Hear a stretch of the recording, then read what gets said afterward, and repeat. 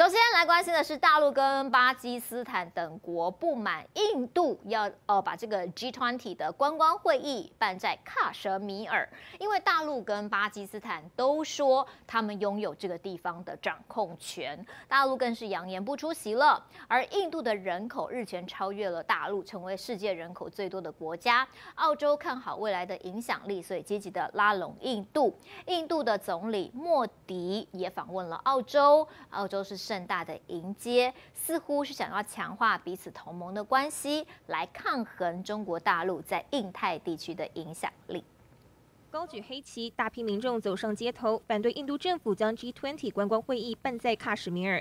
就连巴基斯坦外长也跳出来谴责。India is misusing its position as chair of the G20, a forum created to address global financial and economic issues with utter disregard. For the Security Council resolution, the UN Charter and its principle. 二零一九年，印度政府剥夺喀什米尔的半自治地区，将它划分为两个区块，试图将喀什米尔纳入印度政府掌控，这让巴基斯坦和中国大陆很不满，因为他们都声称拥有这块领土的掌控权。中方坚决反对在领土争议地区举办任何形式的 G20 会议，也不会出席这种会议。北京政府还坚决表示，将不出席在喀什米尔这个争议地所举办的 G20 观光会议。更有前喀什米尔官员痛批，印度总理莫迪所属的执政党就是在利用 G20 会议帮自己宣传。So the meeting which is being held in Kashmir is. Very, very important for us because we believe in peace, we believe in progress, we believe in prosperity. 对此，印度官员反驳，表示印度有权在该国里的任何地点举办 G20 会议，还说喀什米尔是印度最适合举办观光会议的地点。然而，与此同时，印度总理莫迪正在澳洲访问，还受到热烈欢迎。Prime Minister of India, Narendra Modi. 向现场观众挥手，莫迪与澳洲总理艾班尼斯一同现身在雪梨奥林匹克公园的运动场，接受两万名粉丝欢迎。艾班尼斯还夸赞，美国摇滚歌手的人气都没有莫迪来得高。The last time I saw someone on the stage here was Bruce Springsteen, and he didn't get the welcome that Prime Minister Modi has got. 由于印度是世界人口最多的国家，外界认为澳洲政府之所以积极向印度示好，就是看准印度的军事实力、外交和经济影响力日益增长，有望与中国大陆抗衡。而印度不光是与澳洲走得近，也积极拉拢南太平洋岛国。莫迪最近更成为有史以来第一位造访南太平洋岛国巴布亚纽几内亚的印度总理。外界分析，面对中国大陆积极在南太平洋壮大势力，印度对此感到警戒，将联手南太平洋岛国合力推动经济发展，试图与北京政府抗衡。记者李汉宗报道。好，另外一方面是大陆解放军海军自主研制的新型导弹驱逐舰“湛江舰”，二十二号抵达了马来亚呃马来西亚兰卡威的海域，要参加第十六届兰卡威国际海事航空展，要展现的是他们的海军实力。在这个疫情趋缓之后，大陆解放军积极的参加世界各地的防务展，好大秀军事肌肉。歼十 C 战机整齐划一，拖着五彩斑斓的尾烟，蓝天上画下一道又一道彩虹。大陆空军八一飞行表演队在马来西亚兰卡威机场上，成为名副其实的彩虹制造机。第十六届兰卡威国际海事和航空展在马来西亚兰卡威机场开幕，中国空军八一飞行表演队炫舞蓝天，为来自世界各地的观众进行了首场飞行表演。疫情趋缓后，解放军海空军积极参加国际防务展。兰卡威航展是东南亚地区规模最大的航空及船舰综合型防务展。这次解放军除了有八一飞行表演队，还派出湛江舰共襄盛举。中国海军湛江舰驶入马来西亚兰卡威附近海域。与前来迎接的马来西亚海军舰艇会合。湛江舰是中国大陆自主研制的新型导弹驱逐舰，航渡期间先后组织分区列队、下水道航行、外事礼仪培训等针对性训练。相关舰员还进行了中国传统舞狮和水兵太极拳训练，为参展做好准备。借助本次参展机会，我们希望加强与参展国海军部队的互通交流。增进与相关国家的相互了解。五月初，解放军还参加了魁违四年的亚洲国际海事展。解放军海军导弹护卫舰玉林舰以及猎扫雷舰赤壁舰都赴新加坡参展，并与新加坡海军开展中心合作二零二三海上联合演习。在舰艇开放期间，我们举办了甲板招待会。组织了太极拳、武术等传统文化展示。中新两国海军也共同完成反水雷引导通过、海上补给站位、舰炮实弹演习、联合搜救与医疗后送等科目演练，成果丰硕。二月十，阿布达比国际海防展上，则是派出解放军海军南宁舰参加。我们一进港口就看到了这艘巨大的中国军舰，我们登上了军舰，看到了很多先进的设备。解放军在疫情趋缓后，积极在全球各地参加防务展，大秀军事记者李静综合报道。日本的首相岸田文雄在 G7 的闭幕记者会当中准备离席的时候，有好多记者想要继续的提问，那岸田就没有理会，然后记者就呛说呛瞎说。你想要逃跑吗？哦，岸田文雄听到之后，立刻就转身又上台，花了三分钟回答问题。其实各国的元首回答媒体提问都是常态呀，哈，包括那个前美国总统川普，每个月还办两场记者会，哈，连他最讨厌的 CNN 他都会回答问题。对比我们的大小姐，哈，曾经有七百四十五天没有开记者会，啊，这是天壤之别呀。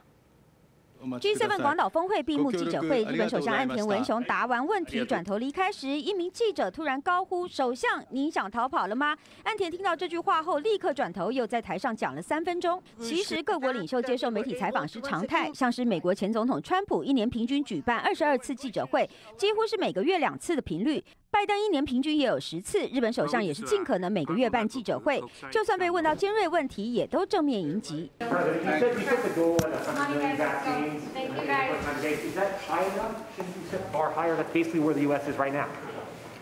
When I announced it, you all said it's not possible. Come on, give me a break, man. 新冠大流行期间，拜登听到记者质疑他拼上任百日一亿人的接种计划，显然有点生气，先停下动作，瞪大眼睛看了记者，但还是保持风度，苦笑回应。相较蔡英文总统曾经七百四十五天没有开一场记者会，参拜白沙屯妈祖时握手握很勤，但被记者提到关键问题却充耳不闻。延期怎么看？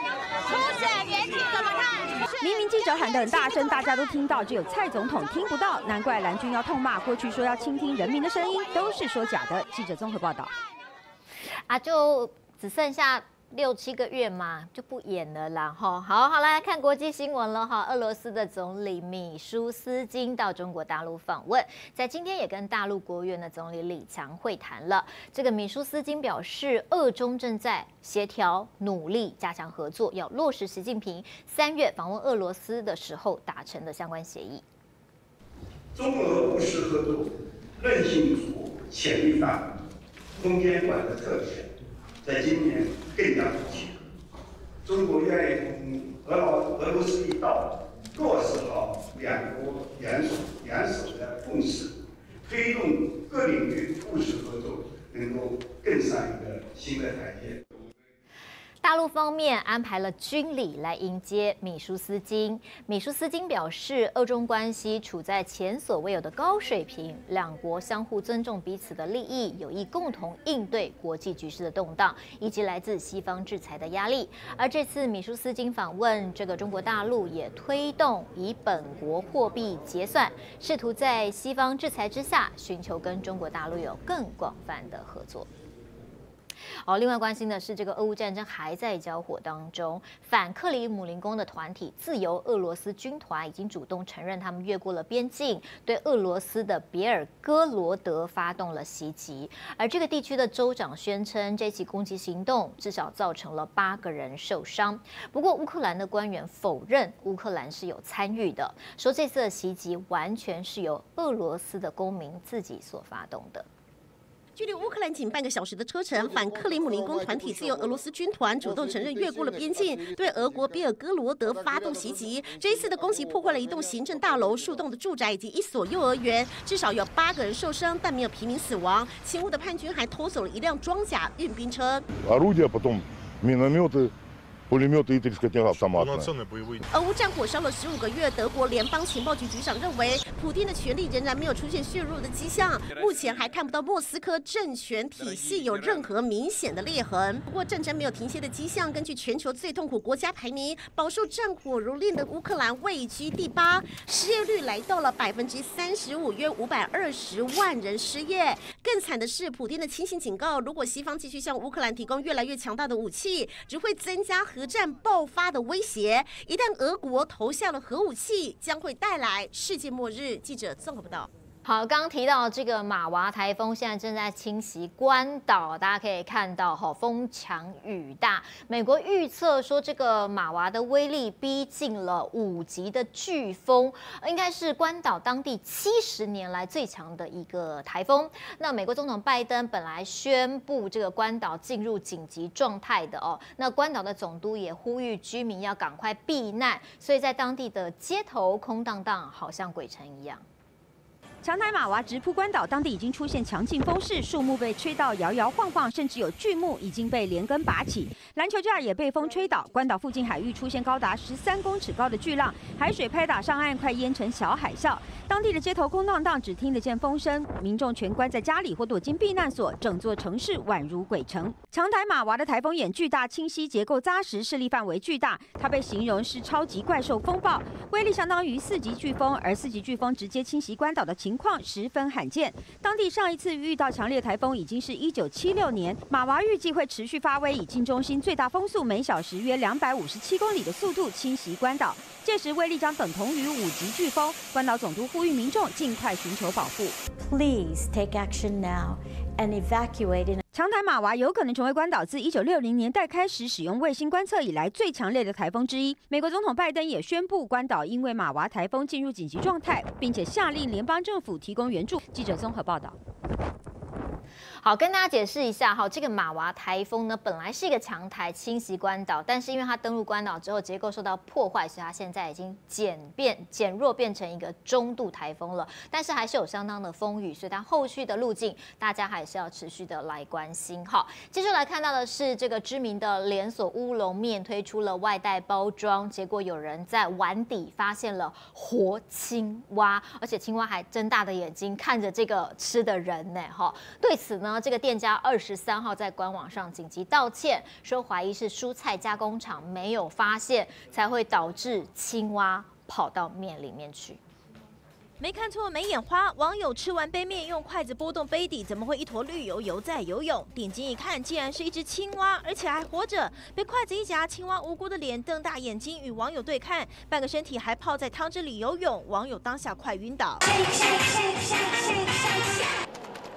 台湾也吃得到的连锁知名乌龙面品牌，日前才推出这款乌龙面，结合沙拉手摇杯，生鲜蔬菜佐酱料搭配面条，吃起来清爽解腻。一杯三百九十日元，约八十八元台币。噱头是吃之前先摇一摇，没想到新品刚推出就闹出青蛙事件。品牌紧急道歉，强调未来会加强检查。不过日本近来频频爆出奇奇怪怪食安问题。一名少年在超商恶搞，直接用嘴巴接住从机器挤出来的。双麒麟整张嘴塞爆，差点 hold 不住，嘴巴几乎碰到机器，有够恶心。